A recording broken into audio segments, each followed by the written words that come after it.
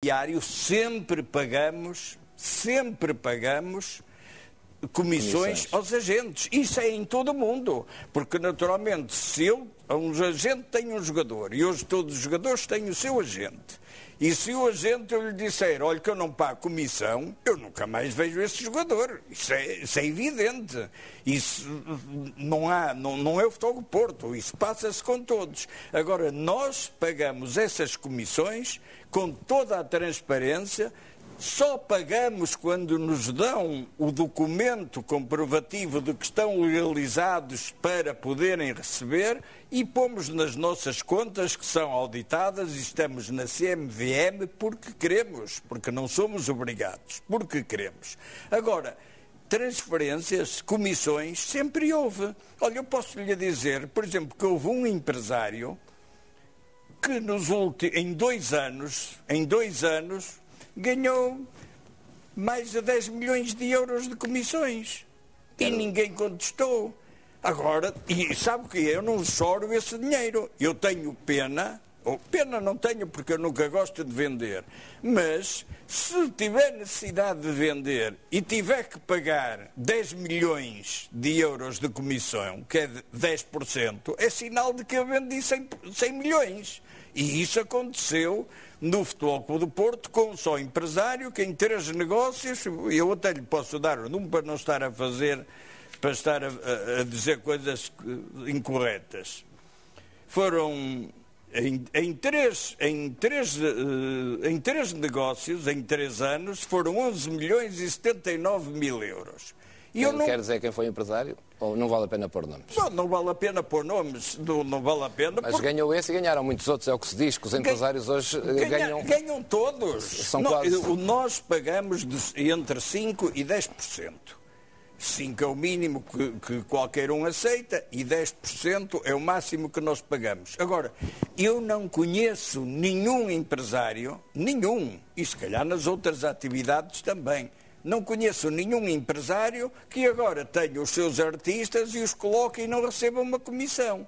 Portanto, nós pagamos, volto-lhe a dizer, com contas auditadas, tudo oficial, não há pagamentos por fora, como se diz na gíria, só pagamos perante um documento legal e oficial de quem recebe. Portanto, vai continuar a ser assim. Mesmo com os jogadores da formação, Presidente? Com os jogadores da formação, nós não compramos jogadores da formação. Nós não compramos. Nós, por exemplo, os, os, os, jovens que temos na equipa B são jogadores que vêm para o Futebol Clube de Porto com uma opção de compra. Não os compramos.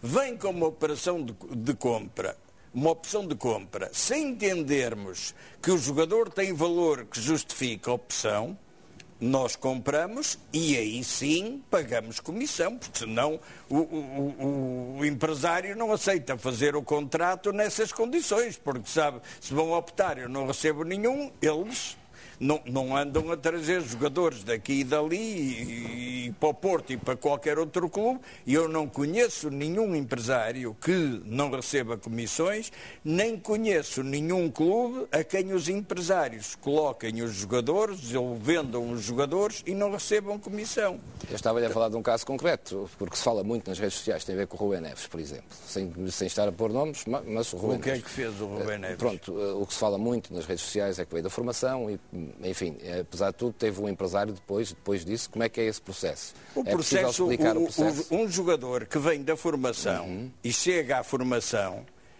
tem empresário. Hoje, eu, eu, qualquer dia vai haver empresários à porta das maternidades. Pelo menos para os filhos dos jogadores que têm mais probabilidades de ter jeito. Não é? Agora, qualquer miúdo hoje. Esse é um processo normal, então. Qual, não, não vou explicar, já que Sim. falou num caso concreto. Qualquer miúdo tem um empresário. Qualquer miúdo tem um empresário. E esse empresário, quando o jogador vem da formação, mas acaba o contrato, se firma o contrato em determinadas condições. Eu pergunto, por exemplo, no caso que me falou concretamente, o Rubem Neves é jogador representado pelo, pelo Jorge Mendes. E até lhe digo em concreto, no ano passado, o Sr. Jorge Mendes propôs uma venda do jogador propôs-me a venda do jogador por determinada quantia, mas pôs logo como condição para tratar disso que tinha que receber 10%, não aceitava receber menos. Portanto, vindo da formação ou não, o empresário quando faz contrato ou quando negocia, o empresário quer receber a sua comissão. Eu não conheço nenhum que não queira.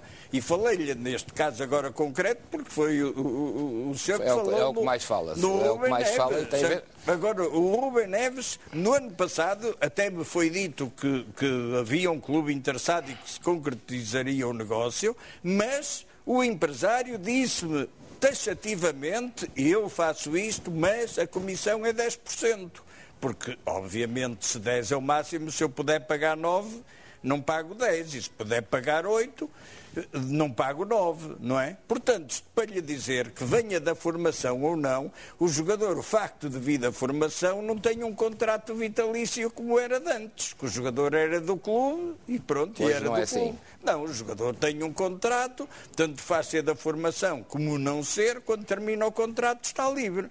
Quem contesta dá a ideia também, Presidente, que neste momento o clube escolhe mais os empresários do que os jogadores.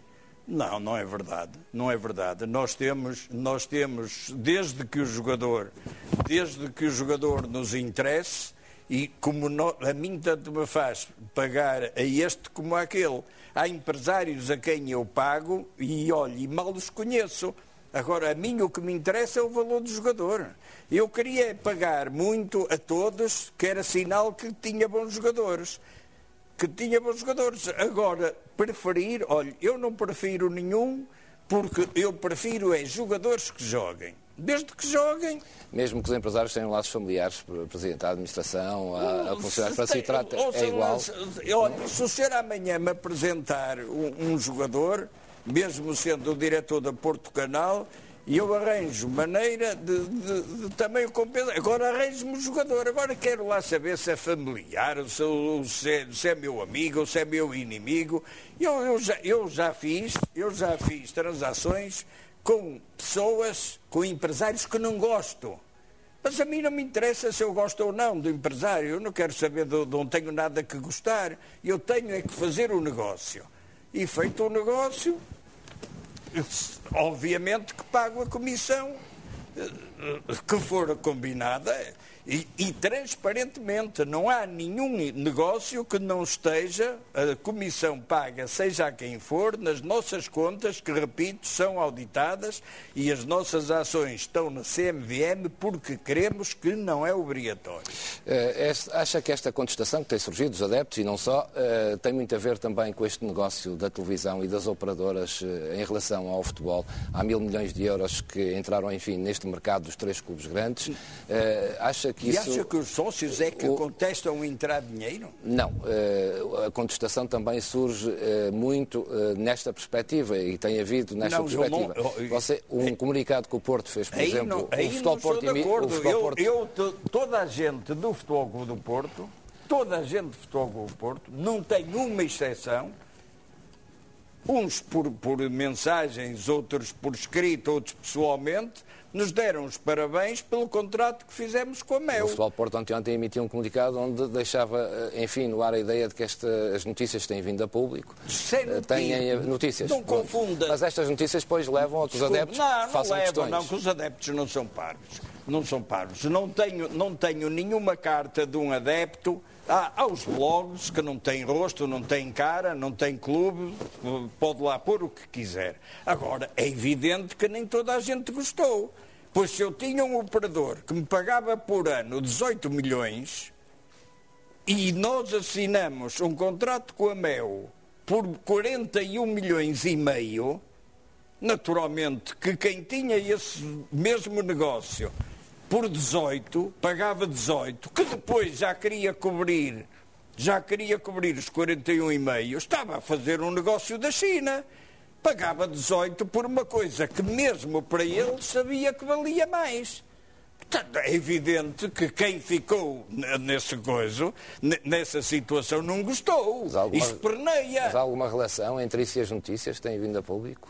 Não faço ideia, eu não sou eu que ponho as notícias. Agora, em relação à contestação, não vi ninguém contestar, pelo contrário, repito, só, então se eu tenho um contrato em que recebo 18 milhões por ano e o mudo para um que vou ganhar 41,5, ainda mais com publicidade das camisolas, algum sócio do Futebol Clube do Porto ou adepto pode contestar isso? Não entendo. Não, sinceramente, eu não entendo. E sabe qual é a importância desse contrato? É que a passagem de 18 para 41,5, mais as camisolas, mais o valor das camisolas que não está incluído, que esse contrato nos deu, vai nos permitir uma maior estabilidade na equipa, vai nos permitir manter mais tempo os jogadores no plantel, porque já não há aquela necessidade premente de sabermos que entramos com déficit. Não, olhe, pelo menos entramos com a diferença que vai dos 18 para os 41,5 e, e para além da garantia que temos de ter mais uns milhões pelas camisolas. Isso não é, já não é para fazer, já não é para fazer uh, estádios, nem, nem piscinas, nem pavilhões que estão feitos. Isso é para garantir a estabilidade da equipa e não haver a necessidade de jogadores que nós não queremos que saiam sermos obrigados a deixá-los sair. Ainda assim, Presidente, eh, apesar desses milhões todos, o passivo tem aumentado, o orçamento está controlado, eh, o Porto vendeu sempre muito, ganhou muitos títulos, Olha, bateu recordes de receitas. Eu, eu acho, e como é que o passivo eu, aumenta? Eu acho engraçado e não sei se foi buscar as suas perguntas aos, aos blogs. Não, nem dentro nem de fora. Nem dentro nem não. fora. Não, mas então eu, então eu conheço porque, porque eh, contava, como já vi, eu não, não, não vejo blogs, nem, nem Facebooks, não tenho nada disso, mas mostram mais vezes.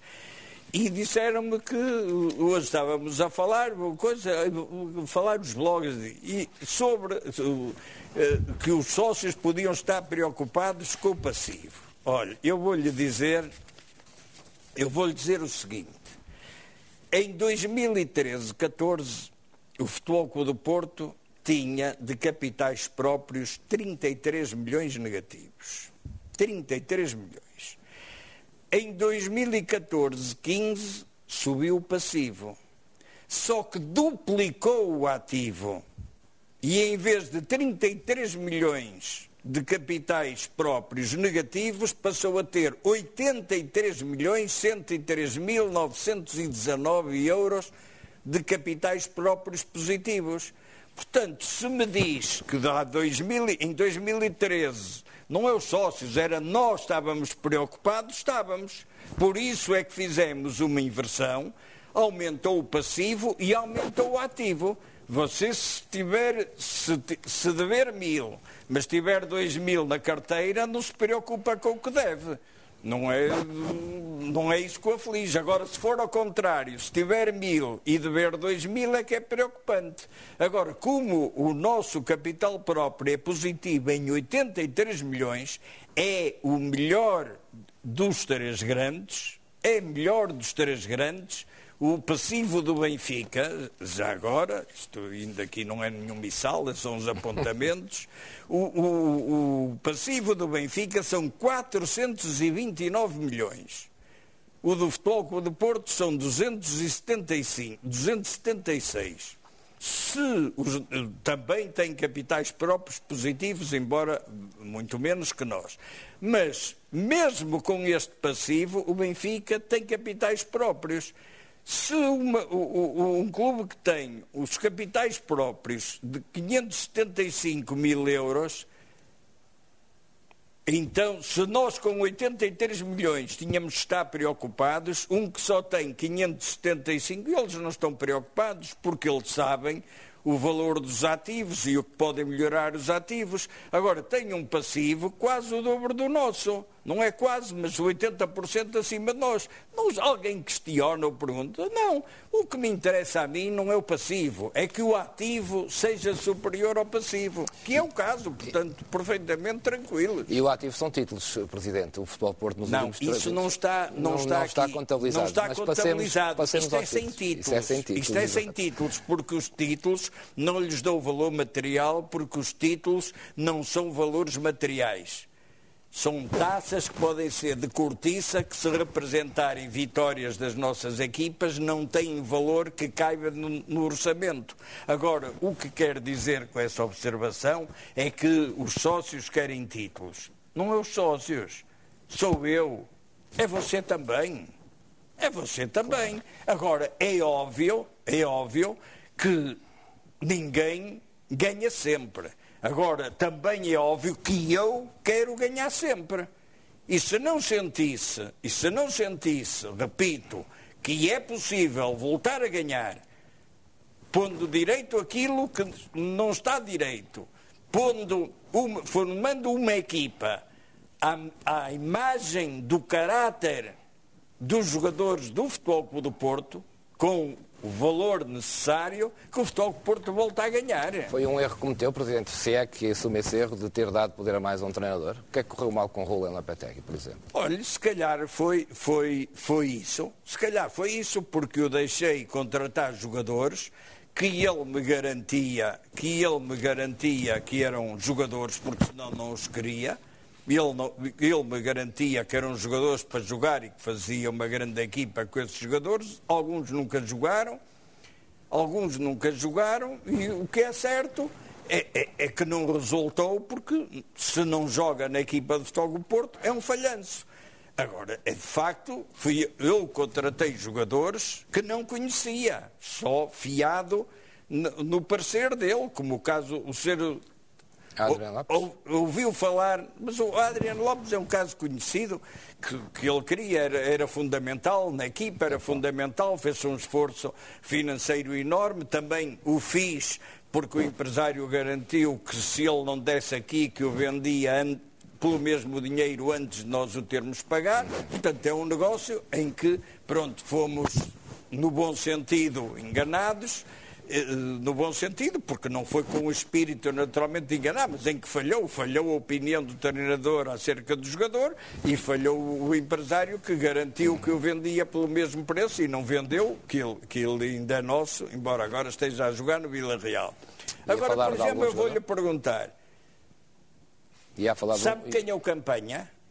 Sim, na, o Campanha, sim, jogou na equipa B o ano passado. Jogou na equipa B. Exatamente. Pois foi um dos que eu acreditei que era um jogador para o Futebol Clube do Porto, que eu nunca tinha visto, nunca tinha ouvido falar, mas como confiei, como confiei na escolha dos jogadores, esse foi um dos eleitos do seu Lopetegui. Agora diz-me assim, a culpa é de Lopetegui? Não, a culpa foi minha que confiei em quem não devia.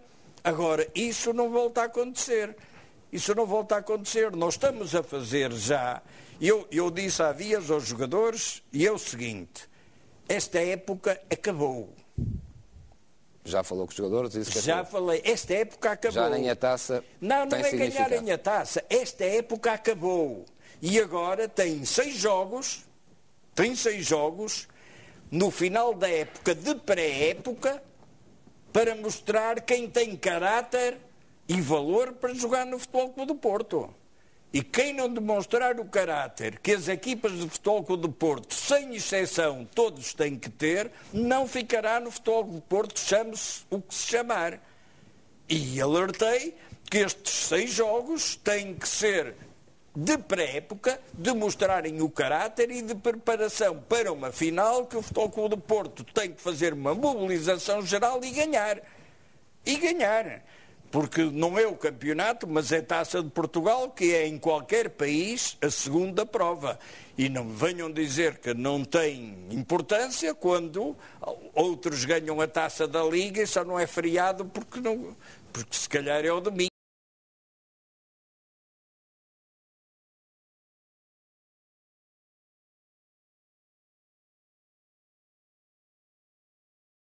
já é por natureza. Agora, não tenha dúvida nenhuma, nós já sabemos o que queremos, nós já temos jogadores com treinadores e, e, os responsáveis, parte do, não, obviamente que não lhe vou dizer quem, que farão parte do plantel da próxima Estava época. a falar de jogadores deste plantel ou outros ou de fora? Não, jogadores que não estão no Futebol Clube do Porto, que farão parte do plantel do Futebol Clube do Porto. Alguns, porque, muitos dos que o Porto tem emprestados. Porque não temos, se calhar alguns também, porque não temos, porque não temos uh, necessidade, não temos, uh, tivemos, não temos, não tivemos necessidade de alguns jogadores de os pôr a jogar para ver o seu valor. Hoje todos nós sabemos que o Otávio, que lhe chamam Tavinho, que está no Guimarães, que é um grande jogador. Agora, se não o tivéssemos emprestado ao Guimarães, ele nem na vez estava a jogar. Ele não teve uma oportunidade com o seu Lopetegui. Por isso é que eu emprestei ao Guimarães, porque eu achava que ele tinha valor, por o que via. E ele achava que não, não punha a jogar. A única solução para tirar dúvidas foi pô-lo a jogar a alto nível no Guimarães, onde ele tem sido quase sempre o melhor jogador. Portanto, Presidente, inverter o modelo em que os jogadores da formação e os jogadores do clube, eh, jovens, foram emprestados e vieram para cá jogadores emprestados deste, de outros clubes. Vai inverter esse não modelo? Tem, não, não, não, não, há relação? Não, não, tem nada a ver, como no ano passado, estamos a falar do, do ano, ano passado, passado, mas mesmo do ano passado não tem nada a ver uma coisa com a outra. Os jogadores que nós colocamos, por exemplo, o Rafa, uhum. o Rafa, defesa esquerda da Académica, toda a gente sabe, não é preciso ser um expert de futebol que vai ser um grande jogador. Ou tem dúvida? Não. Vai ser um grande jogador. Agora, neste momento, com o Layune e o, e o Maxi, não jogava. Então preferimos, mesmo com o sacrifício da equipa B, que é para formar jogadores, mais que formar jogadores, não é, não é para andar atrás de vitórias, com prejuízo da formação de jogadores, entendemos que lhe fazia bem ir jogar para a Primeira Liga, que lhe fazia bem jogar num clube eh, em que tem que trabalhar forçosamente e num clube até que toda a gente gosta e que é bom para, para ajudar a formação de jogadores. Agora, se ficasse no Futebol Clube do Porto este fim de época, ia andar a jogar na B. Para o ano haveria dúvidas. Agora, neste momento, eu não tenho a mínima dúvida e já está determinado que o Rafa vai integrar o plantel. Não Portanto, vai recuperar dúvida. alguns jovens jogadores que o Porto tem noutros clubes a brilhar. A, a brilhar, a brilhar, mas que foram para lá, mas que o... foram para lá precisamente para brilhar. Porque se estivessem aqui, não estavam a brilhar, porque o Rafa está a brilhar. Mas se estivesse no Futebol Clube do Porto, estava a brilhar na D.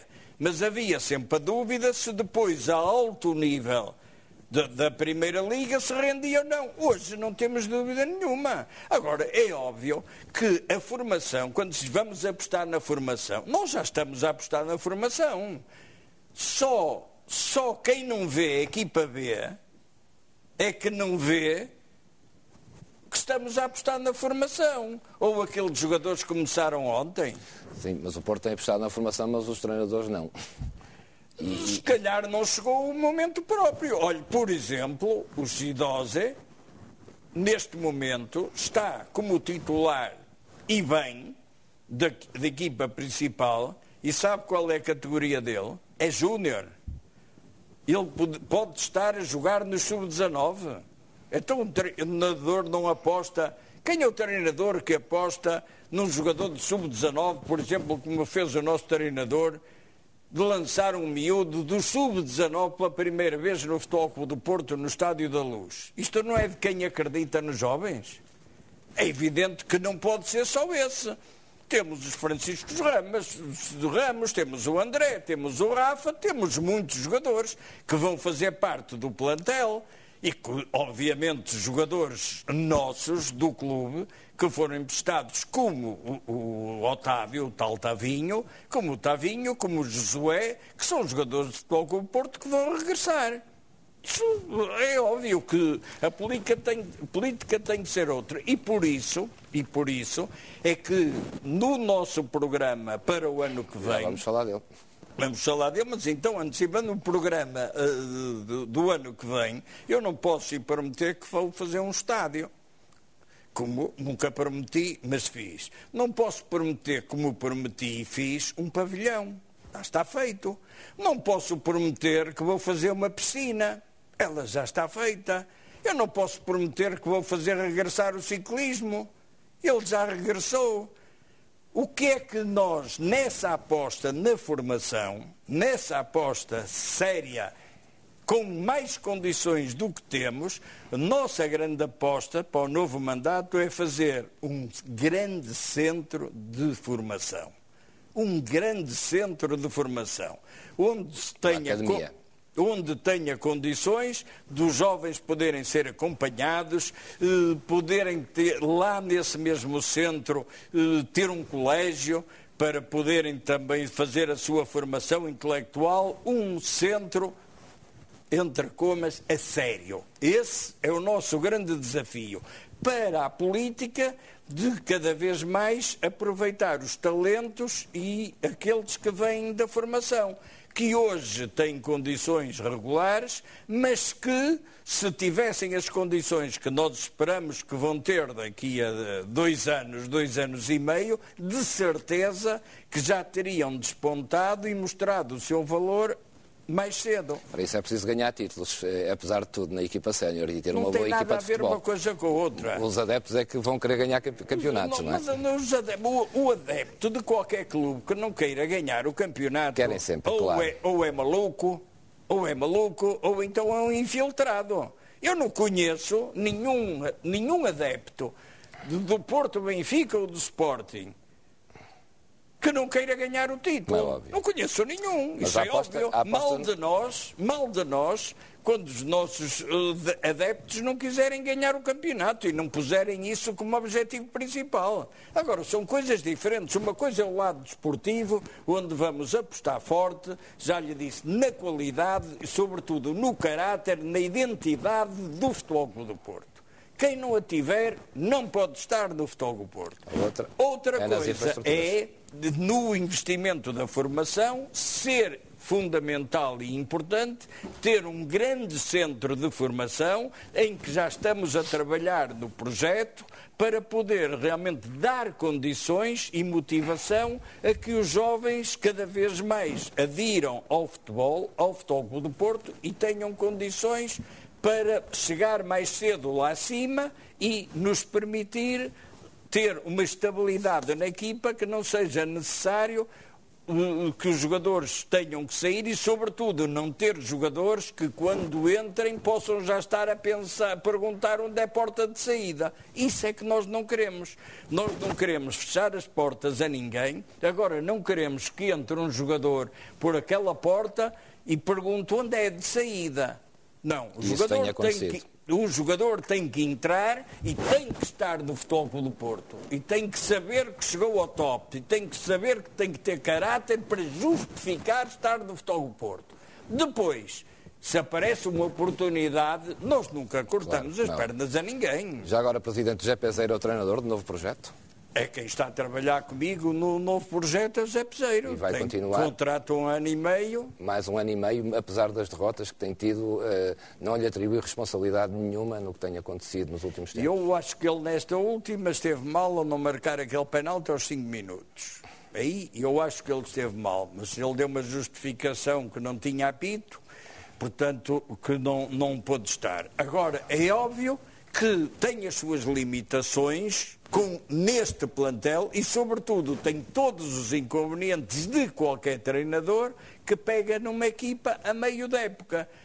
Porque um treinador que pega numa equipa a meio da época, que não tenha objetivos imediatos, pode trabalhar de uma maneira. Um treinador que entra numa equipa e tem objetivos imediatos tem que trabalhar à pressão e muitas vezes não pode pôr em prática aquilo que quer, nem os jogadores que quer, porque tem que ir jogando jogo a jogo. Agora repito, com esta derrota, com esta derrota que a todos nos encheu de vergonha, e ao, desde os jogadores, ao treinador, aos adeptos, e eu sou eu sou presidente, mas antes de ser presidente eu sou adepto.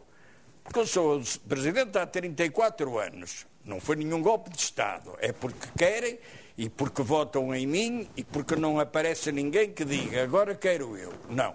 Eu sou presidente de Futebol Porto porque os sócios querem. Agora, mais do que presidente, eu sou adepto. E como adepto do Futebol Clube do Porto, eu quero que o Futebol Clube do Porto ganhe, mas quero dentro do campo ver as equipas a jogar como nós dizíamos a Porto. Isso eu posso lhe garantir que para o ano vai ter uma equipa que vai jogar a Porto, que vai jogar para ganhar. Ganhar, não é, não é para jogar para ver o que o jogo dá, vai jogar para ganhar. Agora, é evidente que há casos em que não nos deixam ganhar e uh, isso acontece no futebol. Claro. Agora, ter a determinação tem que ser esta: qualidade qualidade e caráter a futebol clube. José Peseiro nem está dependente da final da taça. Vai trabalhar não, ano e meio. Mas o que é que tem que ver uh, o José Peseiro com a final da taça? Você quer que lhe diga assim, eu garanto que o José Peseiro... Eu não lhe garanto nada. Eu não, não lhe garanto se amanhã o, o Luís Castro é o, o Daves, o não sei quanto é o guarda-redes. É, é com o treinador e No confia. futebol é tudo... tudo Volátil, nada claro. se pode garantir. Agora, estou-lhe a dizer que é com o Zé Peseiro que estamos a analisar a equipa que temos, quem deve ficar. Vamos analisar estes seis jogos, quem deve ficar, quem tem caráter para ficar, porque nesta, nas dificuldades é que, se vê, é que se vê o caráter das pessoas. Quando se ganha são todos iguais. Agora, num momento destes, também é difícil para os jogadores porque em termos de campeonato eu não tenho objetivos. Agora, é uma, nestas oportunidades é que vamos ver quem são os jogadores de caráter. Quem são os jogadores com quem podemos contar para o bem e para o mal. Mesmo Casilhas. Todos. Todos. Não estou, não estou individual... não está a individualizar todos. Não estou a individualizar todos. Estou a individualizar todos. Têm que mostrar o caráter que têm a forma como trabalham nos treinos, a forma como jogam, a forma como se vão integrar, entregar ao jogo por completo, a determinação de trabalhar com um objetivo, repito, que é ganhar a taça. Não, não, não, não podemos admitir outra alternativa, temos que fazer uma mobilização dos nossos adeptos, ganhar a taça para, de facto, podermos entrar na próxima época logo a disputar o primeiro título que é Supertaça. Os adeptos parecem estar esclarecidos, pelo menos uh, com essas palavras. Uh, Deixe-me só falar ainda do Poder de Futebol. A recandidatura de Fernando Gomes à Federação Portuguesa de Futebol já foi apoiada pela esmagadora maioria dos clubes. O Futebol Porto também apoia? Olha, Ou eu, mantém eu, críticas eu, ainda ao Presidente, que foi seu ex-administrador? Isso não tem nada. Não, se claro, mas... Ser meu administrador até podia ser atual se claro. eu entender que um administrador atual não tem condições mas hoje para terminar... acha que há uma, há uma aproximação maior? Não, só para responder, se eu, se eu entender que amanhã um administrador dele, meu propõe para concorrer a tal sítio, eu achar que não tem condições, de facto, de ser meu, nem que seja atualmente meu administrador, não dou claro. apoio, como é óbvio. Agora, o doutor Fernando Gomes para já, eu discordo, e já disse a, a, alguns clubes que me dão razão, que os clubes não percebem a intenção de individualmente estar a dizer eu apoio o Dr. Fernando Gomes, eu apoio o Dr. Fernando Gomes. Se existe uma liga, se existe uma liga onde estão os clubes, eu acho que é nessa liga que se deve estudar se se deve ou não apoiar o Dr. Fernando Gomes. Isto é a minha opinião. Então, para que serve a Liga? Quer dizer, a Liga traça objetivos, a Liga tem uma estratégia, a Liga sabe o que quer. E cada um vai dizer por si quem apoia. Suponha que agora metade diz eu apoio o Dr. Fernando Gomes e outra metade diz oh, eu apoio o Júlio Magalhães. E a Liga? Qual é o papel da Liga disto? Eu acho que os clubes deviam, na Liga, discutir, ver os, os prós e os contras da candidatura de Dr. Fernando Gomes. E se chegarem à conclusão de que é positiva, eu acho que todos os clubes, através da Liga, mesmo com o seu voto, mesmo que alguém não discorde, devem estar solidários nos interesses do futebol. E se houver 15 que estão a favor e cinco que estão contra, não vou dizer que os cinco é que têm razão, nem que eu esteja nos cinco. Portanto, o que eu não concordo é este clube dá o apoio. Sabe porquê? Porque eu acho que isso que é negativo, porque dá a impressão que o doutor Fernando Gomes que anda a pedir. Epá, hoje pediu a este, amanhã pediu àquele, agora fui a Leiria, fiz lá um jogo internacional e o indivíduo de Leiria vem dizer que apoia, que me apoia. Não, isto não é troca de favores. Isto eh, eh, como, como base. Em segundo lugar, como as listas são apresentadas pelo doutor Fernando Gomes, eu tenho que saber as listas. Eu tenho que saber as listas. Suponha que se o doutor Fernando Gomes, por absurdo, que me parece que já, já está há dois dias que vi a notícia de que não acontecerá, apresentava, por exemplo, o Sr. Vitor Pereira como candidato, porque são em conjunto, a presidente do Conselho de Arbitragem, é óbvio que eu não apoiava o doutor Fernando Gomes. E se calhar não estava sozinho, se calhar ia ter um voto garantido, mas se calhar os outros todos podiam fugir. Neste momento, então, eh, nem, não, não, tem, eh, não tem nada contra? Nem, nem a favor, nem contra. Estou à espera de conhecer as listas, o elenco da Federação, à espera de conhecer os, os responsáveis dos vários elencos, uma vez que é tudo apresentado em conjunto. Agora, como é que eu posso dizer que apoio o Dr. Fernando Gomes? E amanhã sai-me uma lista em que estão meia dúzia de indivíduos que eu acho que são nefastos para o futebol ou para o futebol do Porto. Eu não vou apoiar. Aquilo não, nós não estamos a escolher, nós não estamos a escolher o Presidente da República, estamos a, a, a escolher um Presidente da Federação. Vamos aguardar Portanto, então. Quando tiver o programa, quando souber as listas, quem é que o acompanha, o Futebol Clube do Porto põe os interesses do futebol acima dos seus. Agora, não sou obrigado e não estou de acordo com a estratégia.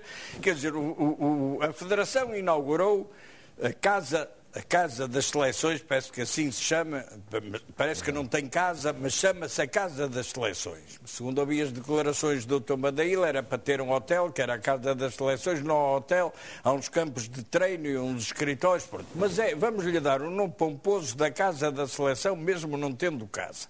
A mim choca-me ler as declarações do Sr. Presidente da Federação, que diz estão 80% pagos ou 70% pagos, o resto que falta pagar vai ser pago com o dinheiro dos jogos particulares da seleção. Então quem é que está a pagar? De quem são os clubes que vão à seleção, que ficam sem poder fazer jogos, que têm que lhes pagar o ordenado, que não os utilizam, que correm os riscos os riscos de lesões e depois vem-se a dizer eu, está pago, é com os jogos particulares da seleção. Pronto, ótimo. Eu também, se, se, se tiver, eu vou fazer um programa na Porto Canal fantástico de, de, de variedades. Com, com, como? Com os artistas dos outros. Vai mantendo algumas discordâncias, mas ainda assim eh, admito também que tem feito um bom trabalho a nível de seleções e na, na Federação. O Cristiano Ronaldo, acho que sim. Que Acha que só? Não, não só. Eu acho que Portugal tem Portugal. Primeiro, para não haver dúvidas, o, Fernando Gomes tem todo, o Fernando Santos tem todo o meu apoio. Entendo que foi muito bem escolhido. É, é um homem fantástico de trabalho, independente da, da amizade que nos une. Não falo pela amizade, falo pelo seu caráter, pelo seu trabalho. Agora, é óbvio que nós temos que ter a consciência de que Portugal ganha e Portugal fará o europeu, ninguém tem dúvida, fará o europeu conforme o Ronaldo estiver. Porque o Ronaldo, se é o melhor do mundo, se o segundo, se o terceiro, não discuto. Agora, é evidente que o Ronaldo, como o Messi, como os grandes craques, como o Robin, é que fazem a diferença. Se o Ronaldo tivermos a felicidade do Ronaldo estar bem, ah, nós podemos até ser campeões. Porque Portugal temos que ter a noção. Tem jovens com valores, tem jogadores que já não são novos, que tiveram o seu valor e ainda tem algum. Tem um Ronaldo superstar e depois tem um jogador a nível europeu de primeira qualidade que é o João Moutinho. E se esses dois estiverem no pleno, estiverem a render o máximo, Portugal pode aspirar a muita coisa. Agora, não é por influência do, do Dr. Fernando Gomes, que o Dr. Fernando Gomes não pode ser responsabilizado se o Cristiano Ronaldo não estiver em forma. Agora, esperemos que esteja, e ele com a sua capacidade de trabalho, de certeza que vai estar. Agora, não é por, por, aí, não é a minha divergência, não tem nada a ver com a seleção. Agora, o que me choca, repito, é saber que os clubes que têm as dificuldades que têm e que os jogos particulares da seleção não vai ser para ajudar os clubes, não vai ser pelos compensar da perda de jogadores, vai ser para pagar a casa das seleções. Eu fico muito contente, sobretudo quando houver a casa das seleções, eu fico muito contente. Agora, gosto muito que você, que você tenha uma casa ótima, agora que não seja paga com o meu trabalho. Presidente, estamos na reta final, falou das listas da Federação, que vai esperar por elas, e os adeptos esperam também eh, pela lista que vai apresentar, eh, eh, com quem vai a estas eleições, no próximo dia 17, e porquê? Temos já os nomes que vamos podendo ver, mas eh, quer apresentar já agora, Não, eu, eu, vai fazer muitas alterações na vou, sua direção? Eu sou obrigado a fazer muitas alterações. Hum porque o estatuto em vigor, quando eu fiz a última direção, permitia-me ter 14 vice-presidentes e 10 diretores, 24. Uma comissão, um grupo de advogados e até de magistrados juntaram-se e fizeram um modelo do novo estatuto. E esse modelo, em que eu não interferi em nada, em nada, tive conhecimento, porque não quis, para que não viessem a dizer no facto de eu me vir a recandidatar que estava a fazer um modelo para mim, esse modelo foi a uma Assembleia Geral ou a várias Assembleias Gerais para ser discutido e aprovado. Houve as alterações que entenderam fazer e eu não dei a opinião em nenhum parágrafo, porque não quis interferir para não pensarem que eu estava a mudar. E o que decidiram foi que esses 14 vice-presidentes passavam a 6 e os 10 diretores passavam a 6. Portanto, isso obrigou-me logo a, a, a, ter que fazer uma limitação das pessoas que estavam e a formar com outro sentido e com outra, outra imaginação. Então dividi o clube em seis setores. O setor financeiro, de que é vice-presidente responsável do Dr. Fernando Gomes, o setor jurídico, de que é responsável o Dr. Adelino Caldeira, o futebol de formação, dado que o futebol da A e da B não pertence ao Futebol Clube do Porto, é da SAD, e na SAD tem a administração do Sr. Reinaldo Teles, que é o administrador, juntamente com o Teles, responsáveis pelo futebol profissional, portanto não tem nada a ver com a formação, o ser inteiro. Depois, outro setor, o património, que engloba o estádio, o pavilhão, o museu, que é o engenheiro Eduardo Valente, as casas filiais e delegações, que o vice-presidente é o Sr. Alípio Jorge, e depois tenho um, um, um, novo, um novo grupo que é o planeamento o planeamento e as, as realizações, o estudo, o estudo de, de, de, novos, de novos trabalhos, de novos, novos empreendimentos, que é uh, o professor uh, Gomes. Emílio Gomes. Emílio Gomes, o professor Emílio Gomes. Da CCDRN? Sim, uhum. será o responsável pelo planeamento dos novos, do, dos novos projetos. É assim que se chama. Portanto, são esses seis os vice-presidentes, é? seis, seis vice-presidentes. Uhum. Depois tenho seis diretores.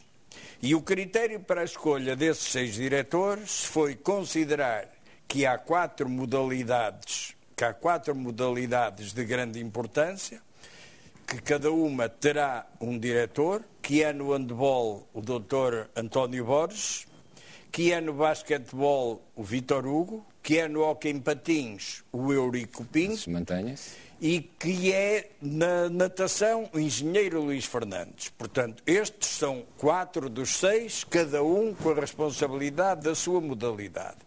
E depois tenho um diretor para as relações institucionais, que é o Dr. Faria de Almeida.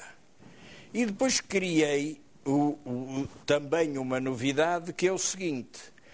Eu sou muito sensível, eu volto a dizer, eu antes de ser eu antes de ser eh, presidente, presidente. e antes de ser diretor e antes de ser seccionista, porque eu tenho 34 anos de presidente e 7 de diretor do clube e 10 ou 12 como seccionista, antes de tudo isso eu é era adepto. Porque se eu não fosse adepto, não tinha sido nada. Era, nem queria ouvir falar nisso. Agora, sou adepto. E como adepto, eu sinto, e magoa-me, sobretudo quando às vezes dou razão, de ouvir comentários, não é de, de, jornais, não é os jornais a dizer, nem, nem as encomendas dos jornais. Não, ouvir adeptos mesmo, a sócios mesmo, que, sobretudo a sócios, que se perdeu o conceito de sócio, que o Futebol Clube do Porto trata os, os, os sócios como clientes. E eu, isso magoava-me magoava-me porque também, como sócio, se me dirigisse a pôr um problema ao Futebol Porto, não queria ser tratado como um cliente. Não quer dizer que os clientes não sejam bem tratados, tem que ser, mas é óbvio que é outro nível, de outra maneira. E como para é isso, isso é que nós temos a Porto Comercial. Então eu entendi que devia arranjar um diretor que é o provedor do sócio. Ser amanhã é sócio ser amanhã, amanhã não, espero que tenha as contas tem, em dia. O ser, é, o ser é sócio. E o, ser tem, e o ser tem um problema, e o ser tem um problema, não é agora dizer de, de que estava a chover na casa de banho, que isso tem, são os serviços hum. para isso. Agora, o ser tem um problema, tem uma questão, tem uma coisa que não lhe agrada, e o ser não se vai dirigir à Porto Comercial. A, a Porto Comercial vai atender os clientes tanto faz que sejam sócios, sócios vão ter... é o provedor de sócios. E entendi que para esse lugar tinha que ter uma pessoa com perfil que sentisse o futebol do Porto desde pequenino. E então escolhi o Rodrigo Barros. Rodrigo Barros, que é o Rodrigo Pinto Magalhães, Pinto de Barros, que é neto do, do, meu anterior, do meu antigo presidente Afonso Pinto Magalhães. Portanto, é um homem que nasceu no Futebol Clube do Porto. É um homem que sabe o que é ter a paixão que herdou do seu avô pelo Futebol Clube do Porto, que tem a sensibilidade para saber que um sócio que se dirige com problema como sócio não é um cliente, é um sócio. E então ele Convidei-o e ele aceitou e penso que se vai preencher uma lacuna importante do sócio que quer falar, quer pôr um problema à direção, quer dialogar e ele será o responsável e manterá um serviço. Para além disso, como novidade, tenho, digo infelizmente, porque é por falecimento do, do Dr. Sardoeira Pinto, tenho o prazer e a honra de ter como Presidente da Assembleia Geral, a partir do dia 17, o juiz conselheiro Matos Fernandes, que foi secretário de Estado da Justiça e que será o futuro presidente da Assembleia Geral do Futebol do Porto, mantendo-se no Conselho Fiscal o Dr. Paulo Nunes de Almeida, presidente da, da essa é a sua equipa. O programa já foi mais ou menos apresentado ao longo deste programa. Uma nova academia, um reforço do plantel, da equipa de futebol, uma equipa de caráter. De... Isso é que é fundamental. Os uma equipa de isso. qualidade e de caráter. E um, uma equipa de caráter. E uma direção, que é outra das críticas que se faz, só para terminar, eh, mais interventiva. Há quem diga que o Porto, nos últimos anos, a sua estrutura tem estado muito apática e, e enfim, eh, pouco interventiva no panorama do futebol português.